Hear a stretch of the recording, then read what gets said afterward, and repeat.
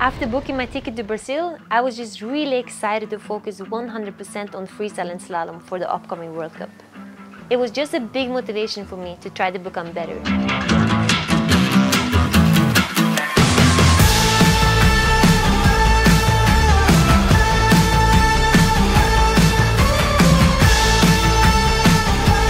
On the fourth day, the conditions were so good. The ramps were coming straight towards me, so I wanted to improve my forward loops.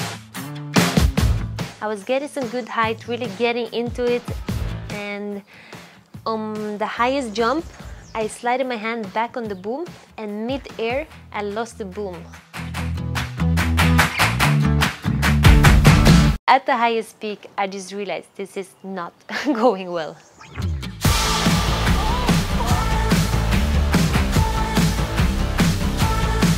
The moment I crashed and I felt the impact on my foot, I just realized that this crash is gonna keep me out of the water for a while. When I crashed like that, I was a bit gutted because the conditions were so good and I was there to windsurf. I decided to focus on what I could do instead of what I could not do. After some days on crutches and resting my foot, I realized that kiting strapless was possible and riding waves on my wing gear.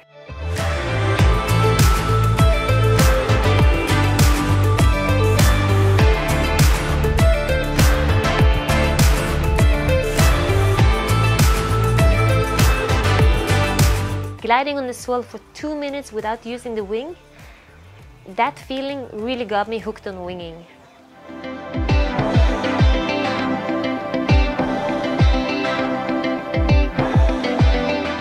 So it's just about having fun all the time.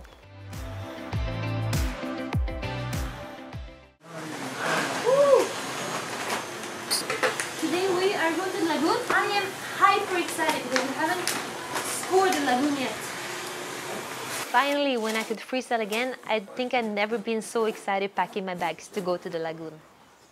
It's a perfect spot, flat water, strong wind, and one of the dream places to really learn the best moves. It's always an adventure to go to the lagoon. You never know if you will actually make it there or make it back home. Maybe you get a flat tire, you get stuck in the sand, the car breaks down. This is just a flat tire, this happens like every few it's true bouncing. But that adds up to the adventure of going there.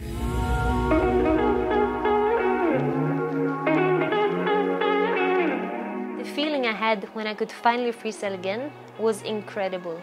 It was like I was extra motivated and I appreciated way more. There was nothing else I wanted to do more than to just freestyle again.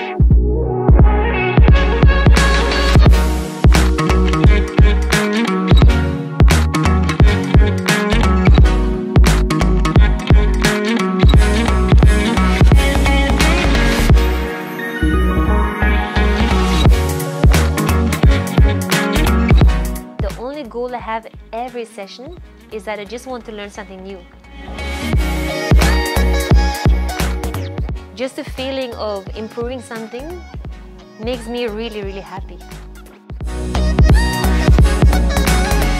The combination of the adventure of making it to the lagoon, having the best freestyle sessions of my life, sailing with friends, that just makes the lagoon really special to me.